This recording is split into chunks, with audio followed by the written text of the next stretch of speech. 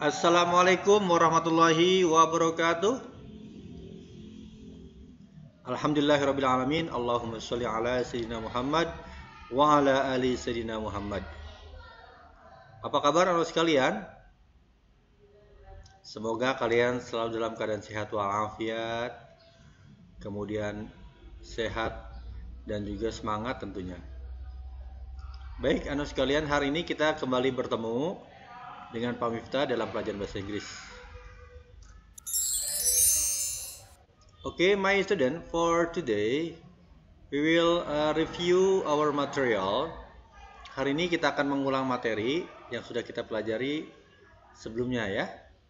Namun, uh, before we start, let's say basmalah together. Bismillahirrahmanirrahim. Baik anak sekalian, hari ini kita akan mengulang masih materi tentang food. What the meaning is food? Yaitu makanan ya. Wis. Nih di kalian sudah terlihat makanan ya. Ada yang manis-manis tentunya ada buah-buahan. Ya, di sini ada segala rupa nih coklat-coklat. Oke, okay, are you ready? Oke, okay, yes. The first, yang pertama.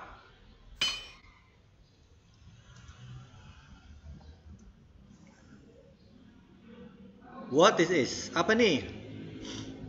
Dalam bahasa Indonesia disebutnya apa, Nak? Daun apa? Daun selada, sayang ya. Ini disebut daun selada nih.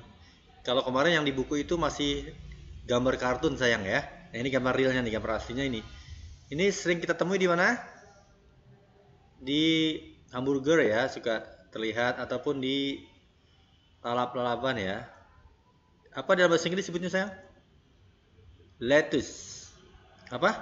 Lettuce. Yes, lettuce artinya daun selada. Siapa yang suka dengan sayuran ini? Ini banyak vitaminnya sayang ya. Karena jatuh warna hijau. Oke, yang pertama tadi lettuce ya, lettuce daun selada. The next, selanjutnya. Nah, what is this? Telur dadar ya. Ini sarapan pagi biasanya kita makan ini. Nah, omelet. Ini bahasa Inggris omelet sayang. Tuh ada campur-campurannya. Ada eh, apa namanya nih? Sosisnya omelet. Nah, telur dadar ya atau omelet lah, sering kita bahasakan omelet. Ini telur dadar. Ini termasuk uh, dessert or main dishes. Menu utama atau makanan penutup? Omelet. Omelet utama sayang ya. Karena biasanya untuk sarapan. Oke, selanjutnya next. Nah, siapa yang tahu nih apa? Ini kue pancong bukan ya? Nah, ini namanya pancake. Ini kue ditaburin gula nih loh. Nih, pancake. Atau kue lah ya. Ini pancake ini termasuk dessert or main dishes. Makanan utama atau makanan penutup. Pancake itu makanan penutup sayang ya. Pancake. Oke, next selanjutnya. Nah, apa nih? Ini antara apel, tomat atau apa yo? Siapa yang tahu? What is this? Apple or tomato or apa coba? Nah, peppers, peppers ya, peppers. Nih yang disebut dengan paprika. Ini sayang ya. Sering kalau kalian ke pasar ya ataupun di supermarket suka ada ya. Ini namanya paprika sayang. Ini sejenis cabai ya, namun biasanya untuk campuran di eh, di nasi kabuli juga ada ataupun di mana lagi? Di pizza ya. Nah, ini peppers. Paprika. Ingat ya, kalau seperti ini bukan tomat ataupun apel, jadi masih sejenis seperti cabai. Jadi sebutnya paprika ya. Oke, paham ya sayang ya? Oke, next. What the picture? Oke. Bagaimana cara membacanya kemarin? Pineapple. Bagaimana? Pineapple. Tidak apa, tidak pasti juga apa-apa. Yang penting uh, pineapple seperti itu ya. What the meaning pineapple? Yes, nanas. Kalian pasti sudah sering lihat ataupun hafal. Ingat pineapple. Pineapple is nanas. Oke, okay? the next picture. Gambar selanjutnya. Nah, what the meaning? What what is this? Tadi eh, di gambar kedua kita lihat ada biji-biji hijau seperti ini apa nih? Yang ada di dalam omelet. Ini namanya apa sayang? Peas in English. What the meaning peas? Peas is kacang polong ya. Biasanya untuk sayur-sayuran juga. Atau kalau yang kering itu biasa kita suka jajan sayang tuh. Makanan kacang yang hijau-hijau yang kering tuh, renyah. Nah, itu juga sama kacang polong sayang. Namun ini sering digunakan untuk campuran uh, sayur-sayuran. Oke, ini disebutnya apa dalam bahasa Inggris? Peas. Ya, peas, kacang polong. Oke, next ya.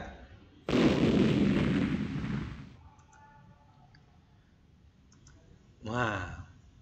What is this? Apa ini? Dalam bahasa Indonesia apa nih? Sering lihat ini kah? Ini biasanya untuk campuran uh, makanan ya, bisa sayur juga atau sering uh, untuk kue-kue. Tahu apa nih? Sebelum bahasa Inggrisnya apa nih yang kalian lihat di pasar kalau ini? Kayu manis. Yes. What the meaning kayu manis in English? Cinnamon cinnamon. Cinnamon is kayu manis. Ingat ya, cinnamon kayu manis. Ini yang belum pernah lihat, yang namanya kayu manis sayang. Jadi hanya sebatas kulit kayu ya yang digunakan untuk masak-masakan ataupun kue-kue biasanya. Next. Nah, ini juga nih jarang terlihat nih. Kalian sepintas seperti buah apa kalau seperti ini ya? Ini agak kecil ya. Ini juga sama sejenis rempah-rempah untuk campuran makanan. Terutama nasi ya, nasi-nasi olahan ya. Nasi kabuli ini pakai ini nih. What the meaning? Cardamom. Tadi cinnamon, ini cardamom. What the meaning cardamom? Kapulaga ya. Nih bahasa Indonesia kapulaga. Jadi ini biasanya digunakan untuk membuat ataupun campuran rempah-rempah di nasi, nasi kabuli biasanya, ataupun ada juga untuk campuran yang lain. Umumnya untuk masakan seperti itu sayang ya. Apa tadi bahasa Inggrisnya kapulaga? Cardamom. Kalau kayu manis tadi apa? Cinnamon. Beda ya. Cardamom or cinnamon. Cardamom is kapulaga, cinnamon is kayu manis. Diingat sayang ya. Next.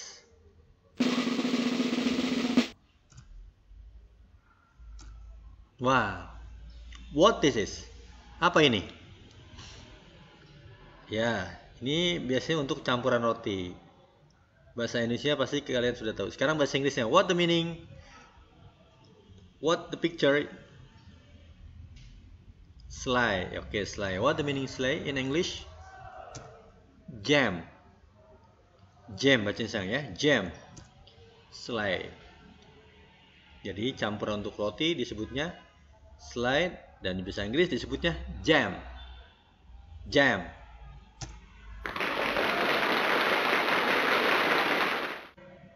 Nah, this your favorite food nih, pasti uh, kesukaan kalian nih. Sudah hafal ya? Me. In English, What to say me in English? Apa? Noodle. Yes, good. Ah, noodles. Noodles. Jadi bacanya noodles, noodles ya. Mie. Kalau bakso apa bakso? Kalau mie ini mie biasa mie, mie goreng ya atau mie rebus itu disebutnya noodles. Kalau bakso apa sayang? Meatball ya.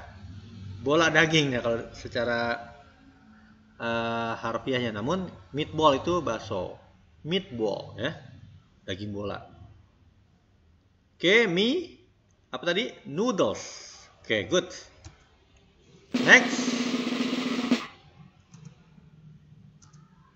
nah ini juga sama your favorite food ya tuh lihat nih ada apa campurannya ada sosis ada onion ya bawangnya ada yang lainnya dari kejunya.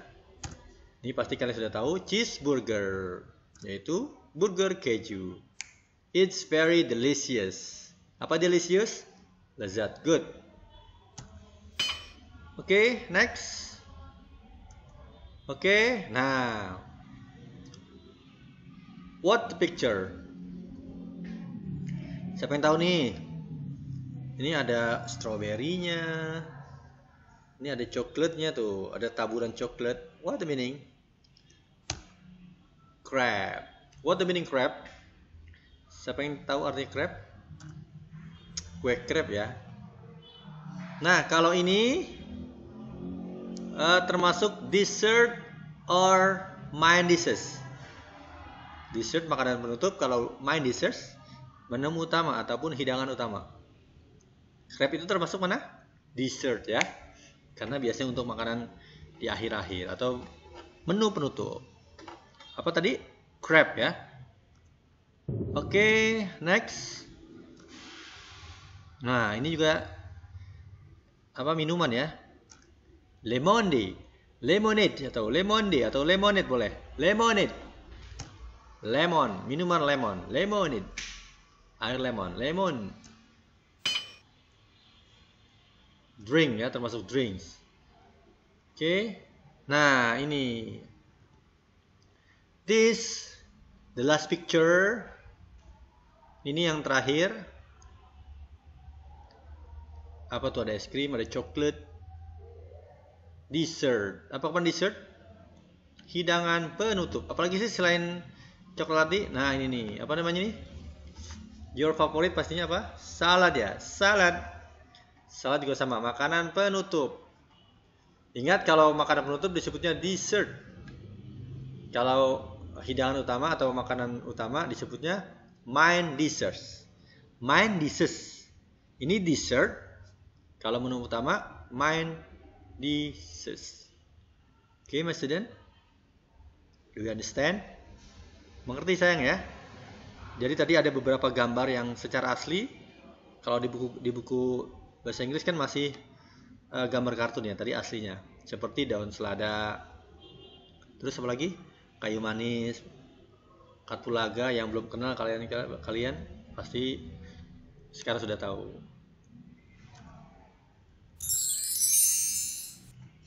Oke, okay, my student. Alhamdulillah kita sudah di akhir pembelajaran bahasa Inggris hari ini.